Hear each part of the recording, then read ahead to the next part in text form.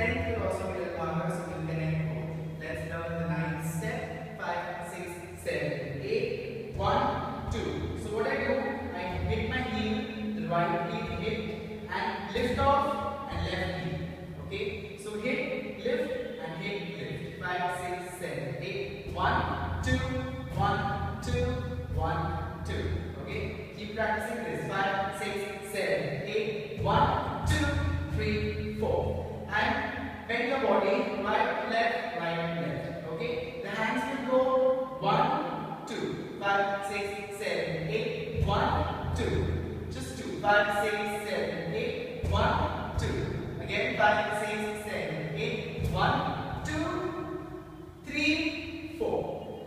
Three, four. Okay. And the leg goes flex, right, flex in front, and left flex in front. And this is as if you're moving the boat. Okay.